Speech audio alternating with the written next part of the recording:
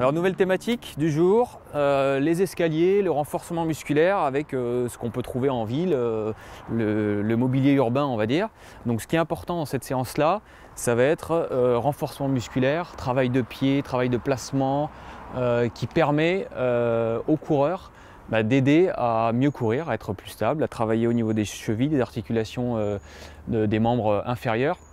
Et en même temps, on va travailler le placement du bassin sur Donc euh, je pense que toi, Antoine, tu as l'utilité sur tes entraînements, donc sur quel, type de préparation euh, tu, intègres ces séances-là? C'est bien d'agrémenter un petit peu, euh, surtout moi, mes fins de footing en travaillant sur du mobilier urbain, voilà, tel que les marches, les bancs ou autres, pendant 10-15 minutes pour garder une certaine puissance musculaire, une élasticité de cheville. Et voilà, ça fait de la PPG qui est un, petit peu naturel. Et euh, je pense que le runner n'a pas forcément l'habitude d'aller dans une salle.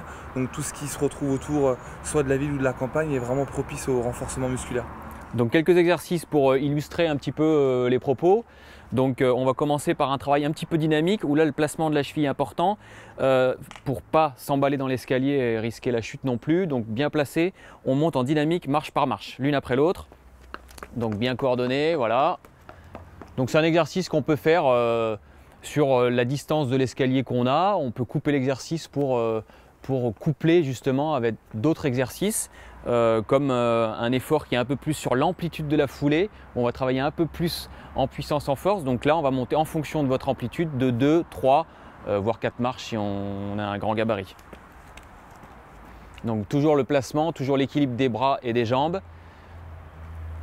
donc qui s'associe toujours avec d'autres exercices qu'on peut enchaîner. Donc là, un petit peu plus sur le travail de cheville, puisque c'est un travail de, cloche-pied. Donc enchaîner quelques marches sur le pied droit ou pied gauche, quelques marches en alternant. Voilà, pensez bien à toujours rester placé, toujours bien euh, dans l'alignement des segments. Donc on peut redescendre en dynamique, ça fait partie aussi euh, de l'exercice où musculairement on va pas forcément récupérer, ce qui permet d'enchaîner tous les exercices avec une certaine fatigue. Donc là on peut aussi travailler à pieds joints, donc un travail un petit peu de coordination qui n'est pas toujours facile en montant deux marches par exemple. On monte de deux, on redescend d'une, ou on monte de deux et on reste bloqué sur deux. Voilà, et là on monte, voilà. Donc toujours le placement, donc là ce qui est important c'est le gainage au niveau du bassin, c'est ce qui est un petit peu la clé du corps. Donc là, pareil, une descente dynamique. Et ce genre de séance, bon, comme l'a dit Antoine, ça se, greffe après un footing de 30-40 minutes. Euh, n'oubliez pas de faire une petite récupération derrière parce que les muscles sont un petit peu chargés. Euh, donc très bénéfique pour, euh, pour quelle que soit votre distance de préparation. Un peu de renforcement pour continuer la suite des escaliers. Alors dans la suite des travaux d'escalier, on va continuer avec un banc que vous allez euh, avoir euh, un peu partout euh, en ville, donc avec des petits exercices un peu plus haut, donc un renforcement légèrement différent. Donc Antoine va nous montrer un, premier exercice en alternant. On va rester sur la, même dynamique que l'escalier, en alternant une jambe après l'autre. Donc montre-nous. On pousse bien sur la jambe qui est au sol et on relève bien et on, surtout on suit le mouvement des jambes avec les bras. Donc ça, on enchaîne quelques séries, c'est pareil. Soit on compte, soit c'est un autant. Ensuite, on enchaîne sur l'exercice suivant, Antoine. Donc là, il y a stabilisation sur le banc et stabilisation à la réception. Donc là, un travail sur les quadriceps, très utile, que ce soit en trail ou même sur les différentes courses, pour gagner un petit peu de, stabilité, de puissance au niveau des quadris et des chevilles.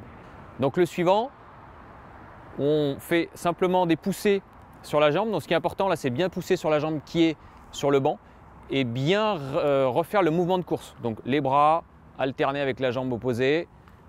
Donc en poussant, c'est pas la jambe qui est au sol qui pousse, c'est celle qui est sur le banc qui pousse. D'accord? De l'autre côté, pour bien équilibrer le mouvement,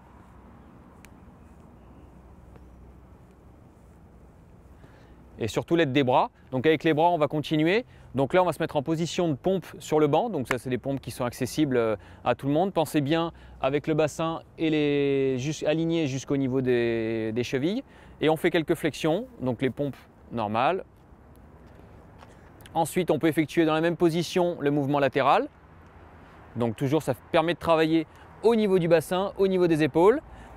Et après un mouvement pour rester dans la dynamique mais en travaillant en plus l'équilibre au niveau de la cheville et au niveau du poignet avec un mouvement de bras. Et un dernier pour travailler un petit peu le renforcement au niveau des épaules et des pectoraux, des pompes qui sont à l'envers, on va, on va simplifier, donc qui permettent de travailler. Donc toujours pareil, le bassin bien gainé et les épaules et les poignets qui vont se renforcer naturellement. Donc tous ces exercices euh, se, font aussi sous forme de circuit training après un échauffement de, 20-25 minutes. Donc vous pouvez le faire en groupe ou tout seul.